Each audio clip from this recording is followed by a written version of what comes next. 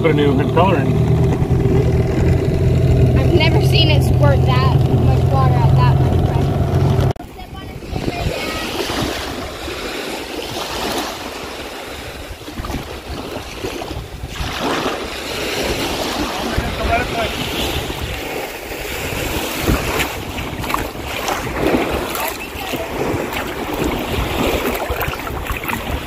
I'm back here. Oh, he pet me. It's grabbing you. It's like it's down. They got the food, you know, food down? They're trying to suck it out of you. Things that have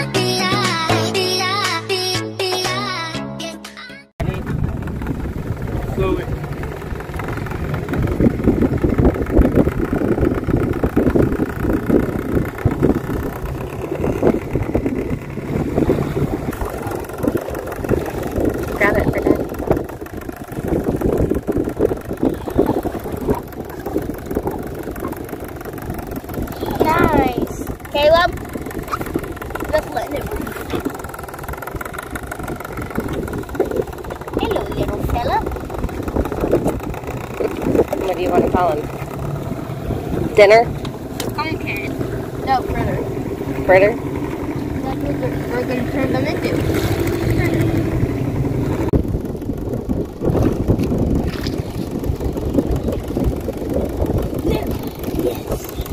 Hey, can I get my two shoes? Chase, grab it from Dad. Lift. Sure.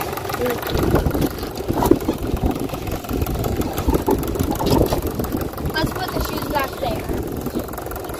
fine. I think. That's a big guy. Uh, what's all this stuff going on?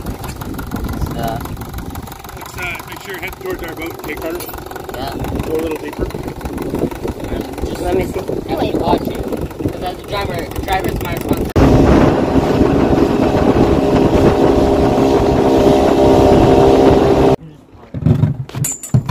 Oh, we're gonna after these conch, we're gonna clean them. break them open so I can release them from their shells. from their shells.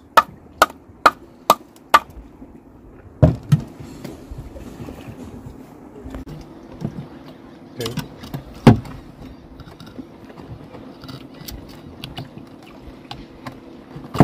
There you go. Yay! He's a big boy. He's in there. Here's a shell, Carter. No, I don't want it. I just Ugh. wanted to ask. What's that? Yeah, that's his sexual reproductive part. What? It's the part that gives you as a male. You don't eat it, Mom? No. Negative. He certainly smells it. That's the part we should have been feeding to the to the uh, Stingrays. Stingrays.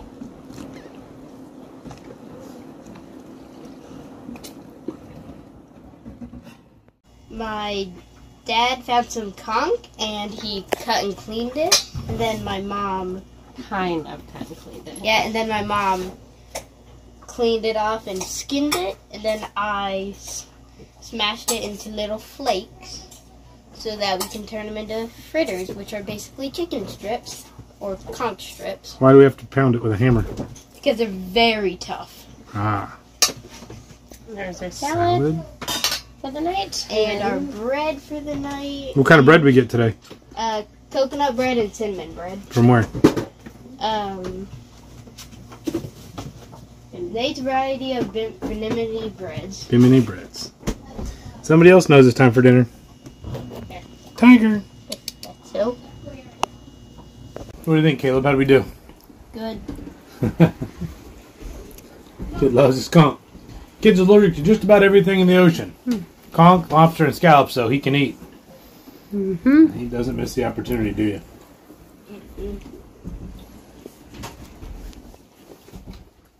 Is that my hammer? Yes. Then let me do it. Okay. Where'd you find this? Over on stuff. Okay, so do that sharp side and keep whacking that until you can use it as a. Okay, that was a big bad thing. I know. I'll be the one to crack the nut. Like.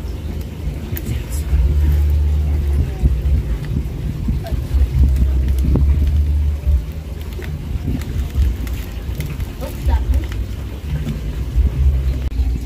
We got this coconut at South Bimini while we were exploring an abandoned marina. I saw this and I shook it and it has water, which means the nut inside is still intact. So we're gonna crack it open and hopefully it's not rotten.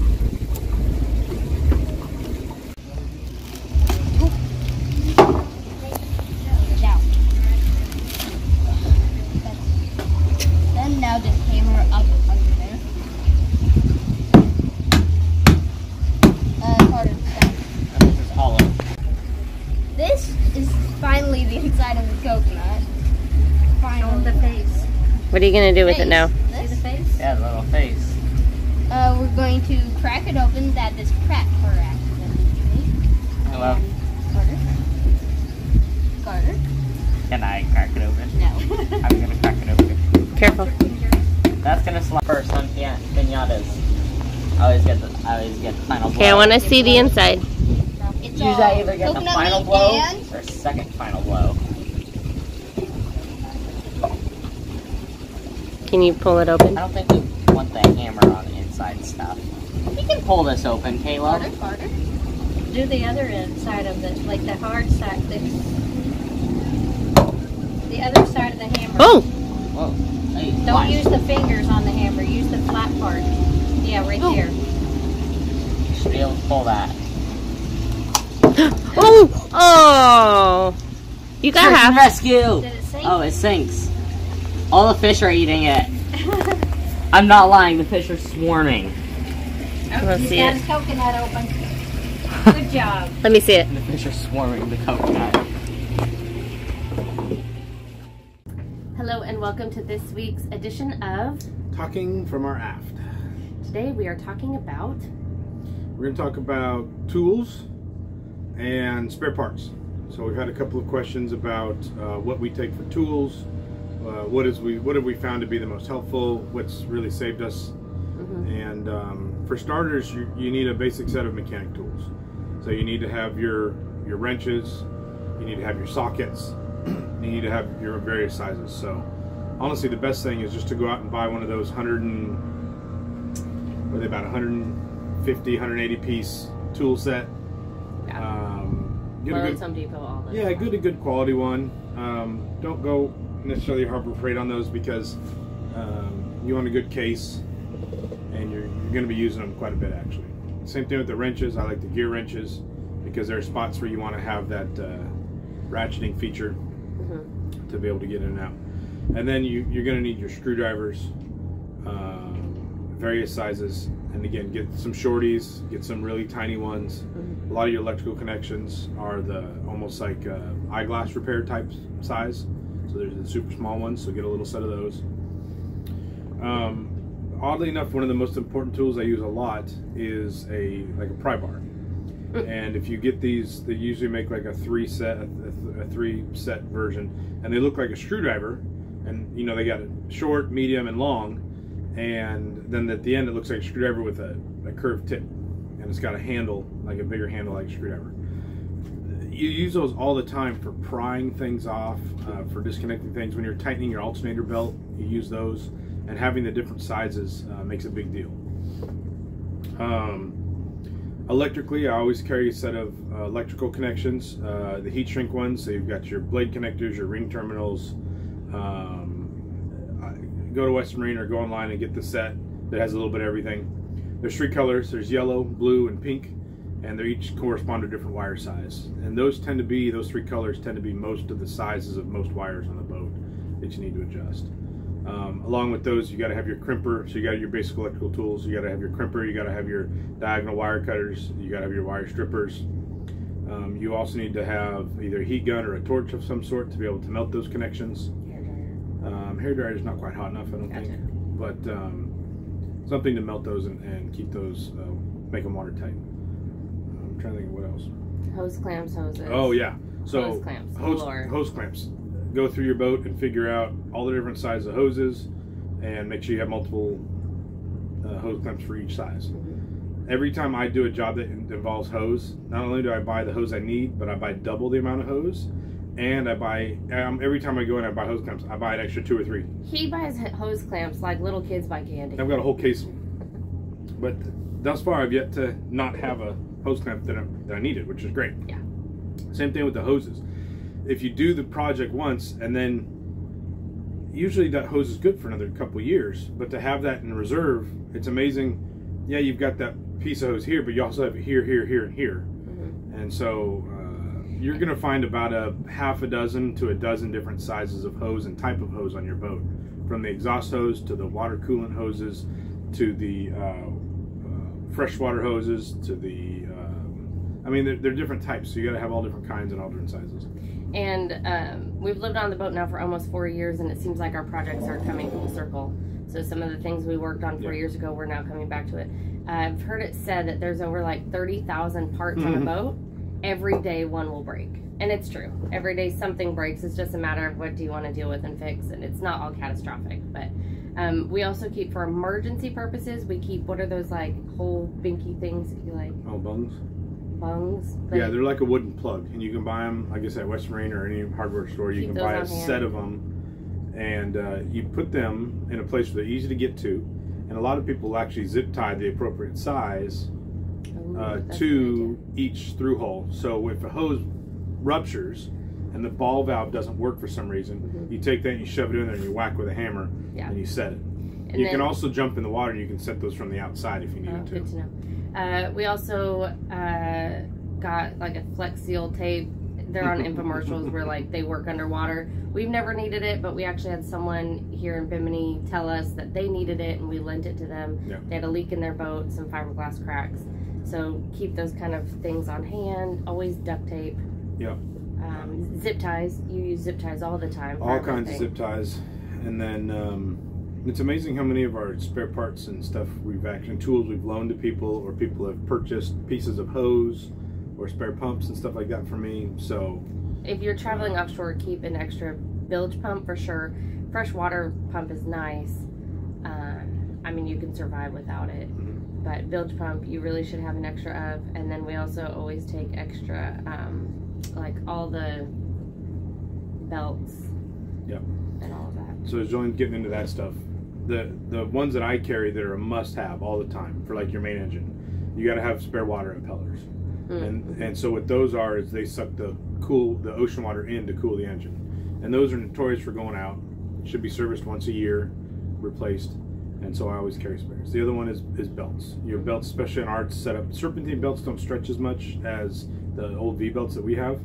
Um, so i'll go through in the course of cruising a couple months i might change my belts uh, once or even twice. I haven't changed them yet cruised what, for a month now but um, as they stretch, they're going to get to the point where you can't tighten them anymore, and so you just have to replace them. So I usually carry two or three sets of those for each engine. Um, I also have a spare circulation pump on board. So what that is is um, for the coolant on the engine, you've got your raw water, but you also have your coolant, and that circulates through.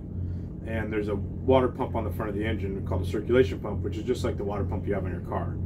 And when we bought the boat, one of ours was leaking. I was able to source two. I replaced the bad one and then kept the other one in its box as a spare because I could replace either one on either engine if needed. And then we've in the past dealt with redundancy already, but uh, two years ago our generator went out and batteries all died. So we ended up adding solar, which to this day is still the first thing I would do to any boat. I would add solar. And um, we're still running our generator a lot right now because it's summer, it's hot, and it's buggy, and then it's rainy. So we can't leave all the hatches open at night because there's no wind and it's going to rain. Um, and the bugs are getting in. But if we had to have the generator off for some reason, no big deal. Our solar would charge the batteries. Even if it's stormy for a day, wait a day or two and it's going to charge eventually. So there's that redundancy. Always have stuff on hand. Some people will carry an extra spare little, like a Honda 2000 generator. We don't because we don't. We feel the solar kind of is our generator Yeah. backup. Um, But that is a great option. If you don't have solar, grab that. Uh, same as I was talking about those parts for the main engines. The generators have those same parts. So you want to have a spare impeller, you want to have spare belts, um, that kind of thing. Another thing that people will carry spares of, and I have, uh, and I've used them and sold them in the past, is alternators for um, the engines and for the generator. I currently have a spare on board for the generator. Um, I don't have a spare on board right now for the engines, um, but because we have multiple ways of charging, I didn't feel it was necessary this time. Uh, last time I had just put a new alternator on one, and then I, the other one was a spare, and I ended up selling it to someone else who needed it in a pinch. So um, again, it's amazing how much stuff you can sell and barter for if you have it on board, because a lot of people don't come prepared. Um, so we have a one transmission that continually likes to uh, have a seal issue on the back of it, and so I've started because you you got to kind of learn your boat, but I know that that's an issue, and I've replaced it twice, and so I always carry spare seals on board. They're like an eight dollar seal, no big deal. The trick is is that particular transmission, the nut to get the coupling off to, to be able to replace that seal is a particular size. It's like an inch and three eighths or something. So if you've got some specialty something on your boat that you need to make sure you have that tool for that particular nut or that particular bolt or whatever, make sure you have that on board. Another common one is like our shaft seals or three quarter inch wrenches, and it's nice to have two of those on board instead of just one uh, because there's two nuts on there and uh, you may lose one and that kind of thing. So figure out what's the most important size and maybe have a couple of those. And so I keep one of my three quarters in my tool bag, but then I keep the other three quarter up on the helm so that if I need to get to it in a moment's notice to adjust, um, because there's two or three. Actually, the water makers are three quarter inch. There's a couple of things on our boat that are three quarter inches, and to have that out, that's a very common one I use all the time. And if all else fails, use a radio, hail all the other cruisers. The locals have everything. We've run into situations where we've seen other people where we don't have anything to help them, but we found another cruiser that had a part that they needed or a tool that they needed. And so there's still community out here. You're not completely isolated and alone. Don't stress out. Just solve one problem at a time, and if you solve enough problems, you'll fix. You'll fix it. It's our favorite them. line from The Martian. Um, Jolene was talking about some other pumps earlier, and the uh, there's a couple I would like to carry. Bilge pumps for sure, along with extra float switches, because sometimes the pumps find the float switch goes out. I've outfitted our boats, all the float switches and all the pumps are the same. So if I can carry, and we have two bilge pumps, so if I can carry one spare, I'm covered on both departments. Um, so you got to think about this stuff before you leave. Don't just buy a bilge pump and take off. You need to look at what you currently have and make sure that what you have is a swap-in replacement. Because what if it has a different outlet size hose instead of an inch, it's an inch and a quarter, that kind of thing. So you need to get that figured out. Um, Jolene mentioned a house water pump. We've replaced that before, and we always carry a spare. We've replaced that twice now, actually, in four years. And to not be able to have fresh water is a big deal. So definitely, definitely worth carrying one of those. And then uh, we have air conditioning, and so air conditioner pumps are a big deal. And those are hard to find even in the states. You got to order those normally, let alone in the down in the islands. Um, and we have set it up so our water maker and our air conditioner the, the use the same pump, not the same uh, exact pump, but the same model pump. We have two of them. And so I carry a third, another one for a spare. And so I've actually, because of that, I've got two backups. If I, if I needed to flip that one back and forth between water maker and AC, we could. Uh, and then I also have a spare in addition to that. Um, those are some really important pumps, in my opinion, to carry for creature comforts and making sure you can function. Um, a lot of people carry spare propellers. We don't have any. Uh, if you have them, great. I wouldn't take them off the boat, but I'd keep them. Um, I don't know that I necessarily would recommend that you have to go spend you know thousands of dollars to have spare ones on board. But I do see that in some people that will even carry spare shafts. Um, I think that comes down to like you need to be a better captain, right? Stuff happens, but if you're doing something where you've, I mean, again, accidents happen. You could be in the middle of nowhere and at night and a dang killer whale comes and takes your rips your rudder off. Right. We've seen stuff like that. Uh, not here, but we've heard about it over in the in, in Europe. But sometimes stuff's overkill, right? And and I, in my opinion, I think those are probably now. If you have a sailboat with a small prop and it's easy to put a spare in, that's fine. Oh, we need to talk about spares for your um, dinghy. So we, we carry uh, patch material, right? So we can patch it because you never know when something's going to happen Always, there. always take a dinghy with oars too. I know that seems Yep. stupid and redundant, but there have been known thefts where people will either take your engine off your dinghy or your engine just stops working. So we always have a radio on board. Obviously, throw out your anchor if for some reason you can't move, but then have oars. I know it seems stupid. And, and then a few videos ago, I did the service on our outboard. You should carry all that stuff. It's not that big a deal. It was like 50 bucks, and you got your spark plugs, and you've got your water impeller, and the fluid to change the lower end unit. And the biggest thing on outboard, I would say, is to I would recommend carrying a spare propeller for that. Because when a hub spins on those, that's a rubber piece in the propeller. The way you replace that is you put a new propeller on. And uh, our boat came with a spare. We've never used it, but it's there if we need it. Um, so if you're going to repitch your your uh, propeller because of to, to get it to run on plane or whatever just right, still keep that old one even if it's not quite the right pitch because in a pinch it'll get you by. Um, but yeah, that's pretty that's pretty much it for this the, the uh, outboard. Yep. Carry those. what I was gonna say, Hope this was helpful. yep. If you have any more questions or comments, please leave them below. We'll Yeah. look at them and If you've got get a to them and answer. if you've got a recommendation, something as a cruiser that you carry that you think I missed, please feel free it. to chime in and throw it in there and let us know. Yep. But thanks again for watching, everybody. We really hope this was helpful. And as always, Enjoy the journey.